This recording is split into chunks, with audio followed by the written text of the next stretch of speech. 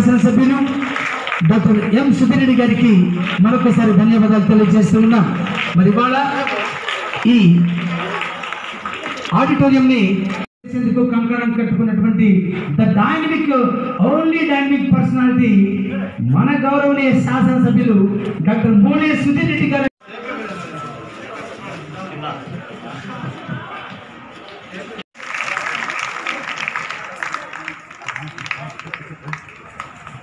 అలాగే తాను రాజకీయాల ప్రధానోపాధ్యాయులుగా ఉంటూ ఈ కార్యక్రమాన్ని తన భుజస్కంధాలపై వేసుకొని నిర్విరామంగా కృషి చేసి టు ద గాడ్ ఫస్ట్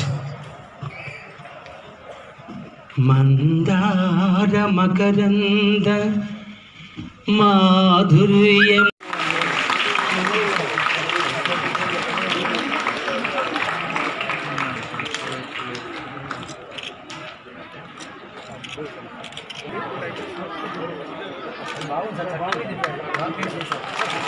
బో నీ పైసలు బో నీ కాగితాలు బా నీ కాగితాలు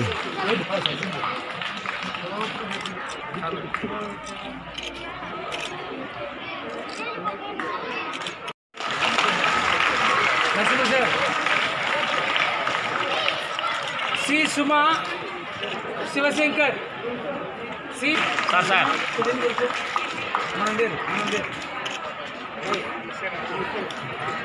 పడుతుంది సార్ జగనన్న ప్రభుత్వం ఈ అన్ని ఏర్పాట్లు చేసినందుకు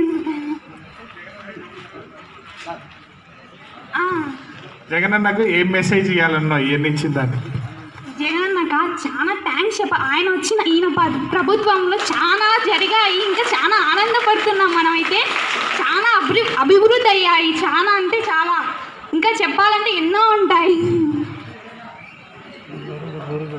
అవును నాకు ఎన్ఎంఎంఎస్లో ఫోర్ ఇయర్స్ వస్తుంది ఓకే ఇంకా చాలా ఉన్నాయి ఇంకా వాటర్ కూడా మనకు ఇంకా మంచినీటి ఉన్నాయి మంచినీటి ఇవి ఇంకా టైల్స్ ఇంకా చాలా ఉన్నాయి. ఇంకా మొక్కలు కూడా నాటించాలి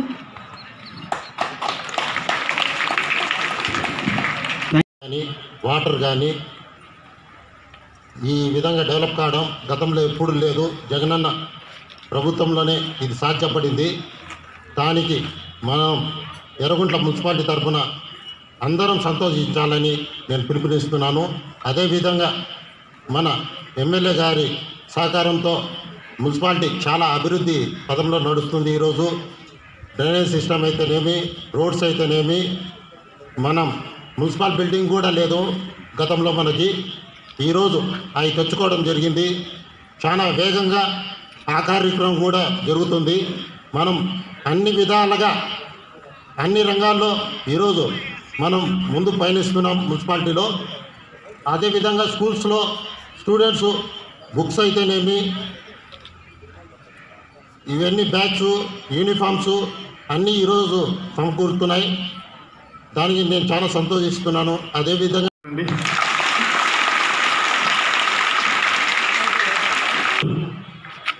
ఈ విద్యా కానుకకు అలాగే నాడు నేడు రెండు ప్రోగ్రాములకి ఈరోజు నన్ను ముఖ్య అతిథిగా పిలిచడం నాతో పాటు వేదిక పంచుకున్న పెద్దలు హరీష్ రెడ్డి గారికి అలాగే స్పెషల్ ఆఫీసర్ గారికి అలాగే మున్సిపల్ వైస్ చైర్మన్ గారికి అలాగే కౌన్సిలర్లకు అలాగే మీ వారికి టీచర్లకు అలాగే ప్రెస్కి నా ముందున్న పిల్లలకి ప్రతి ఒక్కరికి పేరు పేరున రెండు చేతులకి నమస్కారం అమ్మా ఈరోజు మీకు అందరికీ తెలుసు జమ్మలమడుగు తాలూకాలో ఎవరైనా కూడా హెడ్ క్వార్టర్లోనో ఇక్కడ ఒకసారి పెట్టుకుంటారు. కానీ మీటింగ్ ఈ ప్రోగ్రాం ఎక్కడ పెడదామని నాతో ఎంఈఓ గారు డిఈఓ గారు ప్రతి ఒక్కరు కూడా అడగడంతో మనకుండే జిల్లాలో మూడు స్కూళ్ళు అతిపెద్ద స్కూళ్ళు చెప్పుకోదగిన స్కూళ్ళు స్ట్రెంగ్త్ ఉండే స్కూళ్ళు తర్వాత పాస్ పర్సంటేజ్ అయ్యే స్కూళ్ళు సీటు కూడా కష్టంగా చిక్కుతుంది ఇక్కడ. ఇటువంటి స్కూళ్ళల్లో మూడు స్కూళ్ళల్లో ఒక పెద్ద స్కూల్ ఇటువంటి మనకు ముందర ఒక చిటివేల్ స్కూల్ అని ఉంది. ఇటువంటి స్కూల్ ఇంకొకటి కూడా మన తాలూకాలో ఉంది. ఆ స్కూల్ దుమ్మర్నందాల. ఆ స్కూల్లో కూడా తొమ్మిది వందల మంది అది కూడా మన ఈ రెండు స్కూళ్ళకు మన తాలూకాలో ఉండలో గవర్నమెంట్ స్కూల్స్ కార్పొరేట్ స్కూల్స్తో కాంపిటీషన్లు ఉన్నాయంటే నిజంగా ప్రతి శాసనసభ్యుడు కానీ ప్రతి ఒక్కరు కానీ ఈ తాలూకాలో చాలా గర్వపడాలి. అలాగే ముందు ఈ స్కూల్ గురించి కూడా మనం అందరం తెలుసుకున్నాం. కొంచెం మీకు ఏమైనా బోరు కొట్టచ్చు. ఎందుకంటే ఇంతమంది స్పీచ్లు చెప్పడంతో మధ్యలో పాటలు గీటలు లేవు కాబట్టి కొంచెం బోరు కొడుతుంది. ఈ స్కూల్ గురించి మనం అందరం తెలుసుకున్నాం. ఈ స్కూల్ ఎప్పుడో స్వాతంత్రం వచ్చినప్పుడు మొదలైంది. స్వాతంత్రం వచ్చినప్పుడు మొదలైనాక ఈ స్కూల్ గొప్పతనం ఏంటి అంటే ఈ స్కూల్లో పెద్ద పెద్ద మేధావులు చదివినారు. ఈ స్కూల్లో నుంచే ఎమ్మెల్యేలు అయినారు. ఈ స్కూల్లో నుంచే ఐఏఎస్ ఆఫీసర్లు అయినారు. ఈ స్కూల్లో నుంచి మీ ముందర ఉన్న డాక్టర్ గారు కూడా ఈ స్కూల్లోనే చదివిన వాళ్ళు ఈ స్కూల్లో నుంచి టీచర్ అయినారు. రాఘవ ఈ స్కూలే కదా? ఈ ఈ స్కూల్ నుంచి విలేకరులు అయినారు ఈ స్కూల్ నుంచి లాయర్లు అయినారు. ఆఖరికి మన రవీంద్ర సారు ఓల్రెడ్డి సార్ అందరూ ఈ స్కూల్లో చదివిన వాళ్ళే అంటే ఈ స్కూల్లో చదివి ఈ పొద్దు అనేకమైన పోస్టులలో ఉన్నారు. ఇంజనీర్లు ఉన్నారు డాక్టర్లు లాయర్లు పోలీసు అందరు. ఈ స్కూల్ గొప్పదనం అది. ఏమంటే నాకు అవకాశం రాలేదు ఈ స్కూల్లో చదివేదానికి. మా తండ్రి నా మా మా తండ్రి అన్నదమ్ములు కానీ మా నాన్నగారు కానీ అందరూ కానీ ఈ స్కూల్ నుంచే పాస్ అయినారు. అంటే ఎటువంటి స్కూల్ అనేది ఈరోజు అర్థమవుతుంది అంత అంతమంది చదువుకునే స్కూల్. ఈ స్కూల్లోకి నేను ఫస్ట్లో శాసనసభను అయితేనే ముందు కూడా వచ్చినాను. చిన్నప్పుడు కూడా ఎప్పుడైనా బయట నుంచి చూస్తా పోతాను కానీ ఎలక్షన్లు అయిపోయినాక వస్తానే ఈ స్కూల్ పరిస్థితి చూస్తే ఆడ ఫ్యాన్లు ఆడ ఊడిపోతున్నాయి. ఈడ టేబుల్ ఆడ ఇరిగిపోయి ఉన్నాయి ఆడ డోర్లు ఆడ ఉన్నాయి లైట్లు లేవు. ముఖ్యంగా ఎక్కడ నీళ్ళు లేవు. ముఖ్యంగా బాత్రూంలోకి పోతే ఆ రోజు నేను ఫస్ట్ రోజు వచ్చిన వచ్చి ఆ రోజు ఉండే హెచ్ఎం గారు మేడం గారు ఉన్నారు. వాళ్ళు సార్ మాకు టాయిలెట్సే లేవు నిజంగా చాలా ఘోరంగా ఉంది. టాయిలెట్స్ బట్టి కాంపౌండ్ కూడా లేదు ఎవరంటే వాళ్ళు లోపలికి వస్తున్నారు. రారాక నానాక కంప్లైంట్లు అయితే దండిగా రకాల కంప్లైంట్లు అయితే వస్తున్నాయి. కానీ దీన్ని అన్ని దృష్టిలో పెట్టుకున్నాక విన్నారు ఈ స్కూల్లో ఇంత పెద్ద స్ట్రెంగ్త్ ఉంది. నిజంగా పదకొండు వందల డెబ్బై తొమ్మిది మంది ఉన్నారంటే ఇది చిన్న స్కూల్ కాదు ఇది ఒక పెద్ద స్కూల్. మీరందరూ కూడా ఈ పొద్దు గర్వపడాలి. అయ్యా కార్పొరేట్ స్కూల్ కాదు ఈ ఎర్రగొండలో కార్పొరేట్ స్కూల్ కూడా మేము మా స్కూల్ ముందరనేసి. అంటే నిజంగా ఇది దీనికి రెండు రకాలు ఉన్నాయి. కార్పొరేట్ అయినా టీచర్లు టెన్త్ ఇంటర్ చదివి ఏదో వాళ్ళ టీచర్లు అయ్యారు కానీ ఈ స్కూల్లో మీకు దాదాపు నలభై రెండు మంది టీచర్లు ఉన్నారు. అంత హైలీ క్వాలిఫైడ్ టీచర్స్ అంటే కార్పొరేట్ స్కూల్లో కూడా ఈరోజు ఎక్కడ కూడా అంత క్వాలిఫైడ్ టీచర్ లేరు. అంటే దీనికి కూడా మీరు చాలా గర్వంగా ఫీల్ కావాలి. ఒకసారి గట్టిగా చప్పట్లు కొట్టండి. అంటే ఇన్ని రకాల ఇంత స్ట్రెంగ్త్ ఉండి ఇంతమంది టీచర్లు ఉండి ఇంతమంది ఇన్ని రకాలుండి ఇంత మంచి రిజల్ట్ కూడా హండ్రెడ్ పర్సెంట్ నాకు రిజల్ట్ కూడా హండ్రెడ్ పర్సెంట్ రిజల్ట్ వస్తా. ఇన్ని రకాలు ఉన్నాక ఎందుకు మనకి ఇన్ఫ్రాస్ట్రక్చర్ ఉండకూడదు? ఎందుకు మనకి ఇన్ఫ్రాస్ట్రక్చర్ ఉండకూడదు? అంటే బిల్డింగ్లు కానీ రూములు కానీ అన్నీ కానీ ఇవన్నీ ఎందుకు అవసరం అంటున్నామంటే ఎప్పుడైనా మన క్లాస్లో కూర్చొని కింద కూర్చుంటాం. బొక్క పడి ఉంటుందో రా ఫ్లోరింగ్ దెబ్బ తిని ఉంటుంది బాబు రైట్. కూర్చొని వినండి.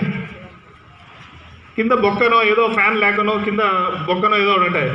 చిన్న బల్లి రావడమో చిన్న ఇన్సెక్ట్ రావడమో ఇలాంటి జరుగుతుందంటే మీకు టీచర్ చెప్పేదాన్ని డిస్ట్రాక్షన్ వస్తుంది. చెమట ఎక్కువ వస్తుంటుంది. ముందే మంది వేడి ఎక్కువ ఎండాకాలం. ఒక సైడ్ చెమట ఇట్లా అనుకుంటా అంటాం అనుకున్నా అది ఒక డిస్ట్రాక్షన్ ఇంట్రెస్టింగ్గా లెక్చర్ క్లాస్ చెప్తాడా టీచర్ ఇట్లాంటివన్నీ కూడా తొలగిపోవాలి. దీంతో పాటు మంచి అట్మాస్ఫియర్ ఎందుకంటే కార్పొరేట్ స్కూల్లో పోతేనే వాళ్ళు ఏమి ఇయ్యరు. మంచి టేబుల్ ఏసీ ఫ్యాన్లు ఉంటాయి. ఆడ ఏం చెప్తారో ఏం లేదో నాకు కూడా తెలుసు. కానీ ఈడ టీచర్లు మంచి టీచర్లు మంచి సబ్జెక్ట్ ఉండే టీచర్లు అన్ని రకాల ఉండి మనకు ఎందుకు వసతులు కలిపికూడదనే అనే ఉద్దేశం వచ్చినప్పుడు జగన్ అన్న ఆయన కూడా చదువుకున్నాడు. ఆయన యంగ్ సీఎం అయినాడు. ఆయన కూడా విదేశాలన్నీ తిరిగినాడు. ఎలా ఉన్న ఎడ్యుకేషన్ సిస్టమ్ అని. ఇవన్నీ ఆలోచించినప్పుడు ఆయనకు రెండు దాంట్లలో ప్రాధాన్యత ఇవ్వాలి నేను సీఎం అవుతానే అనుకున్నాడు. ఒకటి ఆరోగ్యం. మంచి ఆరోగ్యం ఇవ్వాలి ఆరోగ్యశ్రీ అది ఆ రోజు వాళ్ళ తండ్రి గారు డాక్టర్ అయిన దానివల్ల ఆయన స్కీమ్ తెచ్చాడు. దాంట్లో ఏమేమి ఫ్రీ పెట్టాలో అన్ని రకాలకి పెట్టి వైద్యం బాగా పెట్టాడు. వన్ నాట్ ఎయిట్ మీరందరూ ఈ పొద్దు చూస్తే వన్ నాట్ ఎయిట్ కూడా ఆ రోజు రాజశేఖర రెడ్డి గారు పెట్టారు. తర్వాత దాని అప్గ్రేడేషన్ అంటే దాన్ని కొత్తగా మలుపు తిప్పినది జగనన్ననే. ఇవన్నీతో పాటు మనం కూడా రేపు భవిష్యత్ తరాలు అంటే మీరందరూ కూడా మా భవిష్యత్ తరాలు. మీరందరూ కూడా మా భవిష్యత్తు రేపు. మా తరం ఇప్పుడు భవిష్యత్తు కాదు. రేపు మీరందరూ కూడా ఈ దేశాన్ని నడిపించే భవిష్యత్ తరాలు. వీళ్ళందరూ కూడా బాగుండాలనే ఉద్దేశంతో విద్యారంగాన్నే జగనన్న మార్చి చూపించాడు. విద్యారంగాన్నే మార్చి చూపించాడు. దాంట్లో భాగంగానే ఈ పొద్దు ఈ నాడు నేడు. నాడు నేడు అనేది వచ్చి మంచి ఫ్యాన్ మంచి బోర్డు మంచి టేబుల్ మంచి క్లాస్ రూమ్స్ మంచి ఎన్విరాన్మెంట్ మంచి పబ్లిక్ టాయిలెట్స్ మంచి నీళ్ళు డ్రింకింగ్ వాటర్ ఈ అన్ని వసతులు కల్పించినప్పుడు మీకు ఒక ఫీల్ వస్తుంది. నేను కూడా ఒక కార్పొరేట్ స్కూల్కి పోతాను అంటే గతంలో ఎలా ఉండేదంటే స్కూల్ ఉంటాను నేను కానీ ఇప్పుడు మన అలా ఫీల్ కాకండి. ఈరోజు మన కార్పొరేట్ స్కూల్ ఎర్రగుంటలలో ఉండేదానికంటే మన స్కూలే నెంబర్ వన్ అని మనం గర్వంగా చెప్పుకోవచ్చు. ఏమని చెప్పుకోవచ్చు? గర్వంగా చెప్పుకోవచ్చు. నేను నేను ప్రైవేట్ స్కూల్ కూడా పోయి చూశాను. చాలా ఈడే కాదు ప్రొద్దుటూరు ఎక్కడంటే చూశాను. ఇంకా గచ్చుబడిన రాళ్ళే ఉన్నాయి. లేదా ఊరికి అలికి పెట్టిన సిమెంట్తో ఉన్నాయి కానీ మనకేమున్నాయి ఫ్లోరింగ్ మా? టైల్స్ గ్రానైట్స్ ఉన్నాయి. అంటే హైటెక్ కార్పొరేట్ స్కూళ్ళతో పాటు పోటీ పడాలి. దీనికి కూడా గతంలో నాకు కూడా నా దృష్టికి వచ్చింది. మామూలు మండలి వేస్తుంటే నేను కూడా ఒప్పుకోలేదు. కలెక్టర్ గారిని జేసీ గారిని ఏం సార్? మా స్కూల్ ఏమైనా తక్కువనా మా స్కూల్ జిల్లాలోనే నెంబర్ వన్ స్కూల్. మా స్కూల్కి ఎందుకు సార్? నేను కొట్లాడి ఉండేటి పీకిచ్చి మళ్ళీ ఫ్లోరింగ్ గ్రానైట్ ఫ్లోరింగ్ ఇచ్చి మంచి బెంచ్లు జగనన్న అప్పిస్తున్నాడు ఈ బెంచ్ల పైన ఫ్లోరింగ్ ఉంటే బాగుంటుందని అలాగనే ఫ్యాన్లు కానీ లైట్లు కానీ మీకు టాయిలెట్స్ కానీ ఈ రకరకాలన్నీ కూడా జగనన్న మనబడి నాడు నేడు కింద మీకు అందరికీ జగనన్న ఒక కానుకగా ఇచ్చాడు. నిజంగా గట్టిగా తప్పట్టు కొట్టండమ్మా దీనికి. తర్వాత నేనైతే బహుశా ఇక్కడ ఎక్కడ చదవలేదు కాబట్టి నాకు తెలియదు నేను హాలిడేస్లో ఇంటికి వచ్చేటప్పుడు చదువుకున్నాక ఎంబీబీఎస్ అయిపోయినాక కానీ మళ్ళీ డాక్టర్గా ప్రాక్టీస్ చేసేటప్పుడు కానీ నేను కొన్ని అబ్జర్వ్ చేశాను.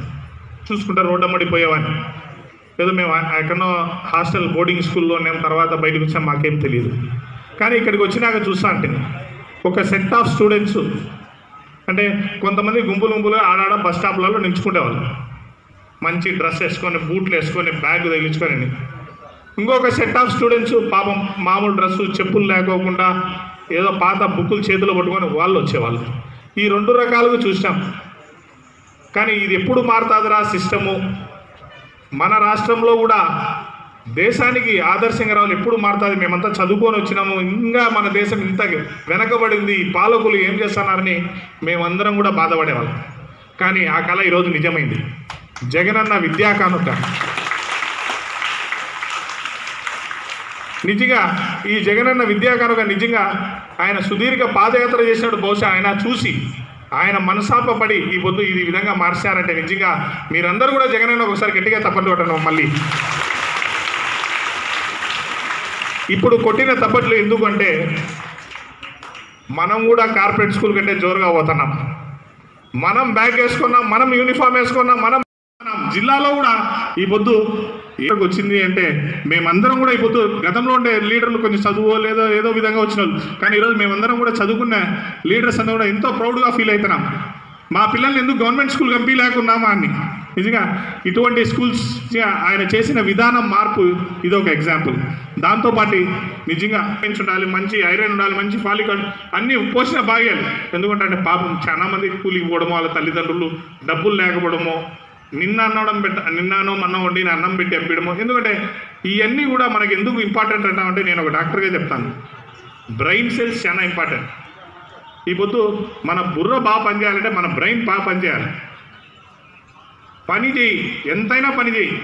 ఏమి దెబ్బతినదు ఎక్కువ ఆలోచించు. ఎక్కువ ఎనర్జీ కన్సెప్షన్ అవుతుంది. ఎక్కువ మైండ్ ఆలోచించేవానికే ఎక్కువ ఆహారం కావాలి. ఎందుకంటామంటే ఈ పొద్దు కూలి పని చేసేవానికి ఏదో కూలి ఏ లోడింగ్ పని చేసేవానికి ఒక సాఫ్ట్వేర్కి ఎందుకు ఉద్యోగ తేడా జీతం తేడా ఉందిమ్మా? అతను బుర్ర పెట్టి ఆలోచిస్తున్నాడు. ఆ బుర్రతోనే మిగతా అన్నీ కూడా పనిచేస్తున్నాయి. ఈ పని ఎత్తేది కానీ దించేది కానీ ఏదైనా ఎక్కడి నుంచి ఆలోచిస్తుందంటే ఒక బుర్రతోనే ఆలోచిస్తుంది. ఆ బుర్రకు ఏం కావాలి?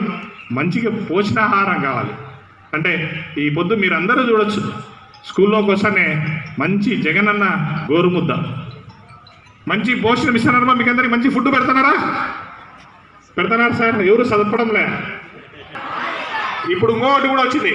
ఫార్టీ ఫైవ్ రైసా forty five rice forty five vitamins శక్తిని వాళ్ళు ఇవన్నీ కలిపి ఆ రైస్ ఇస్తున్నారు. నిజంగా మన ఇంట్లో ఉండే దానికంటే ఇది హండ్రెడ్ పర్సెంట్ మెరుగైన రైస్ సో హండ్రెడ్ పర్సెంట్ ఈ విధమైన ఆహారం ఇస్తున్నారంటే దీనికి కూడా మనందరం కూడా గట్టిగా జగనన్న తప్పట్లు కొట్టాలి.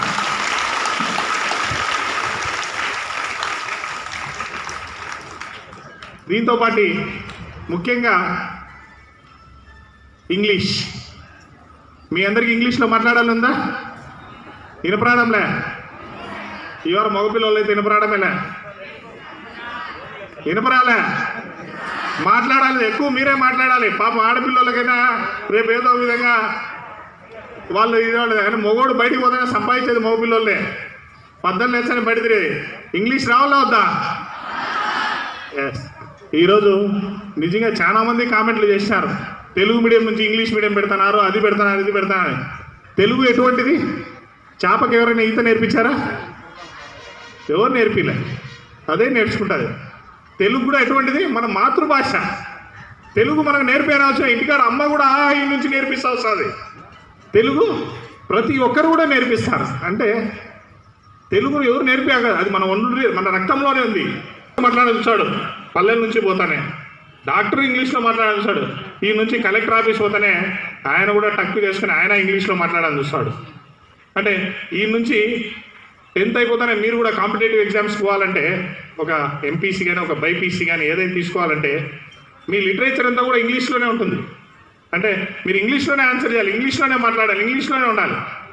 ప్రతి ఒక్క కాంపిటేటివ్ ఎగ్జామ్స్ చెప్పినాక మళ్ళీ ఒక డాక్టర్ గానో ఒక లాయర్ గానో నేనైతే ఏ ఫీల్డ్లో చూసాను నేను కూడా ఒకసారి కోర్టు పోయినప్పుడు మన కమలాపురంలో కూడా లాయర్లు ఇంగ్లీషే మాట్లాడుతున్నారు జడ్జికి. తెలుగులో మాట్లాడడంలే ఇంగ్లీష్లో చెప్తున్నారు. ప్రొద్దుటూరు అది. అంటే